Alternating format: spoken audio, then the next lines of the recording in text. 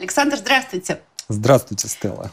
Я очень рада вас наконец вживую увидеть. Мы с вами столько времени общались в скайп. Я объясню немножко, чем мы занимались. Мы с Александром э, формировали имидж. Мы прошли весь путь от самого начала до нынешней стадии. Мы почти закончили. У нас осталось совсем, ну вот буквально, может быть, одна или две встречи, совсем чуть-чуть. И я с Александром на эту тему сегодня поговорю о том, что вообще такое имидж. Я могу вас спросить, как вы для себя сформулируете, что это значит, что такое имидж для вас? Понятие об имидже и э, умение, умение, скажем так, производить впечатление, оно закладывается в человеке вот с самого детства. Откуда приходит информация о том, как человек должен выглядеть? То есть, ну, обычно ты смотришь на окружающих людей и видишь, да, вот Среда. можно, можно ходить с оранжевыми волосами, да, классно, окей, да. я тоже буду ходить с оранжевыми волосами. А, я очень много читал.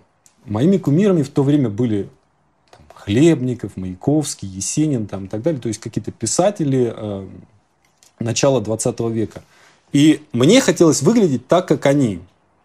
И это было, конечно, на самом деле, это к очень каким-то травматическим событиям приводило. Я помню, когда я попросил маму перешить пальто, сделать такую кепочку, и вот я в такой кепочке, в таком пальто, я, значит, пришел в школу. То есть я шел по улице, я шел мимо интерната, и весь интернат подошли, там ученики подбежали к окнам, смотрели и там пальцем показывали. Сколько вам было лет? Понятно, мне было 14 лет. И это все, это все на самом деле, конечно, это, ну, это оставляет след. И э, через, через такие же приключения прошли там примерно все мое поколение. И к чему это приводит обычно? Обычно это приводит к тому, что человек начинает просто ну, вот болезненно интересоваться этим всем. То есть вот я куплю там часы стоимостью в квартиру, да, я обязательно там надену какой-нибудь пиджак там с блестками там или еще что-то такое со временем, э, я все-таки мне 40 лет уже, и я почувствовал, что для меня статус человека, от которого ничего не зависит, меня больше не устраивает. То есть я больше не могу позволить себе быть не, э, не самостоятельной творческой единицей.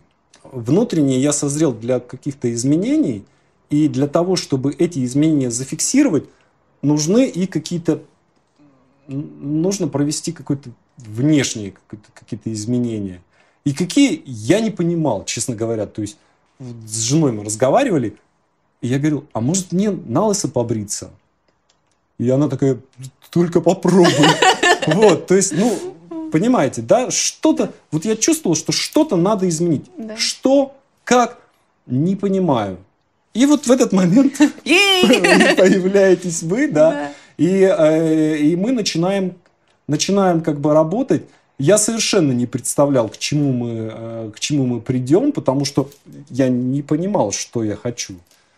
Э, то есть сейчас мы прошли какой-то путь, и я понимаю, что все было абсолютно логично и вот как-то, ну, понятно, почему, почему мы как бы вот из, из этой точки мы вышли, вот к эту точку мы пришли, все как бы все понятно почему. Но, например, там, еще полгода назад я не мог представить, что в моем гардеробе появится пиджак.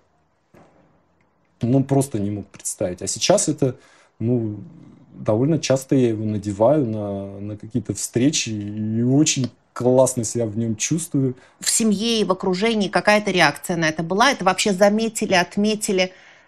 Начали иначе реагировать или не начали, свои, чужие? Ну, я чувствую, что, что это другое ощущение. Когда я иду по городу, э, я чувствую, что теперь я занимаю другое место в этом городе.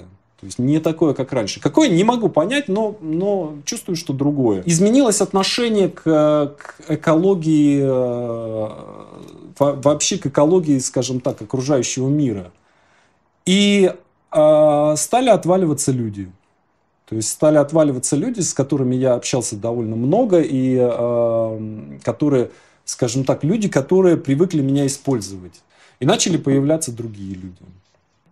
И вот то, то что, что вы делали, как мы, как мы с вами работали, именно это и помогло, помогло это сформулировать. Потому что э, что меня потряс, потрясло, то что э, там, когда мы с вами только начинали, мне казалось, что мне нравится вот это, а оказалось, что на самом деле нравятся мне совершенно, совершенно как бы другие вещи.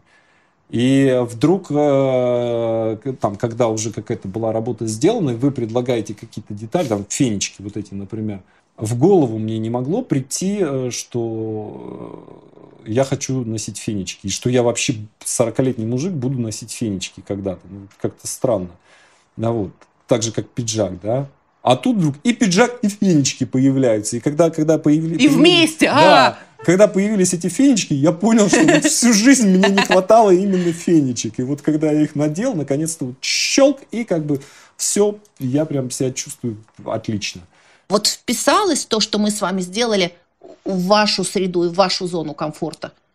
Ну, смотрите, я, я вот такую штуку скажу, что если бы... Э, Честно, говорите. Если бы, если бы я сейчас, сейчас, например, стоя в метро, обнаружил, что у меня расстегнуты брюки, это я предельную ситуацию, да. как бы говорю, предельную ситуацию не, неудобства. Меня бы это вообще не запарило. То есть, ну, ну, расстегнуты, ну и что? Застегнул бы и дальше пошел. Вы сделали хорошую работу. Да. А, у меня и, и примерно такая же ситуация у меня была, наверное, года три назад, когда я вошел в метро и обнаружил, что у меня, даже не обнаружил, а мне сказал кто-то там, подошел какой-то мужик и сказал, тебе брюки расстегнут. И э, я реально просто, желание было провалиться просто сквозь, сквозь этот пол метро. Понятно, что, конечно, все на меня смотрят там и так далее. Сейчас меня бы совершенно не, как бы, не, не запарило. Поэтому я думаю, что если бы, э, ну, если бы вот всех людей в России переодеть, то это была бы другая страна. То есть, ну вот действительно, не, там, не экономику поменять, там, еще что-то там, другое телевидение, э, другую школьную программу сделать, другую идеологию – просто переодеть людей. Другая страна была бы через пять минут совершенно другая. Потому, просто потому, что люди сообщали бы друг, друг, друг другу нечто, нечто совершенно другое.